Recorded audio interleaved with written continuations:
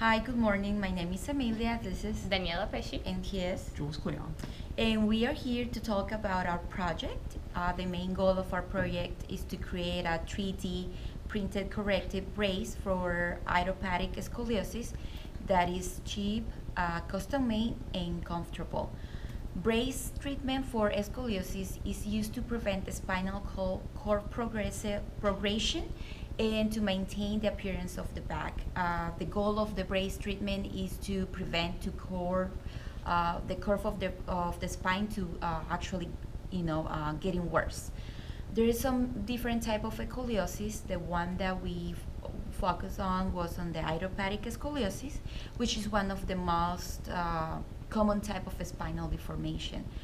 Scoliosis is commonly defined as greater than 10 degrees of uh, lateral deviation of the spine uh, from its central axis. Um, uh, here, I have a picture of a patient with scoliosis. As you can see, the deviation on the spine it's uh, it's pretty big. Uh, there are three different uh, classification of idiopathic scoliosis, and the first one is the um, infantile, which is with uh, when the patient is younger than three years old babies. Uh, the second one is juvenile, which is with patients that are from three to ten years old, and the last one is from patients uh, that is old that are older than ten years old. The measurements of success that we had for this project is that it was going to be it's it's easily customizable and that has dimensions that can be changed based uh, on the patient to be the effect, to be effective the most. Can be worn in a normal life without interference on daily activities and can be worn for long periods of time without being uncomfortable or having skin irritation. It's also not ugly because we can um, add designs to it uh, for the child. Um, the brace applies corrective forces on the spine to release the load on the concave part of the curve and increase the load on the convex um, portion of the curve. The bones that are being compressed will grow less, and the bones that have um, less compression or no compression at all will, will grow more.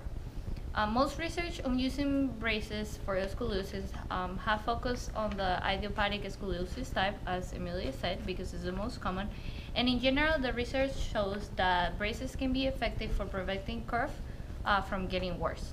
Although bracing will not straighten um, an existing curve, it, if, it, it often prevents from getting it worse to, require, to the point of requiring surgery.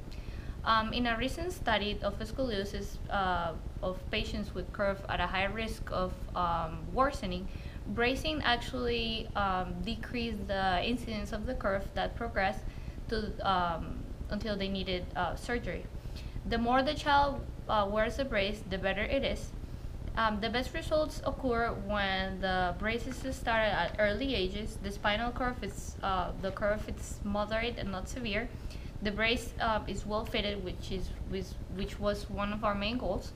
Um, the child wears the brace for the prescribed period of time, and it, uh, they get family support. Here are some images on how the children will actually look with the brace, and they seem happy. So. All right. Here's an image of our current model for the brace.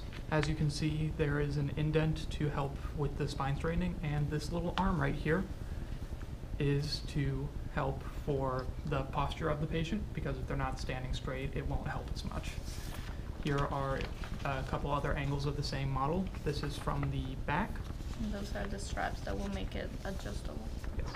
And this is the front.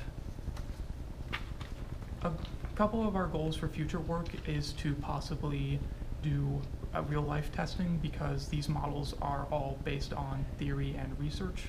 We weren't actually able to find somebody with scoliosis to attempt to make a brace for, but it is a goal for future research. Thank you, and I hope you've enjoyed the presentation. Bye.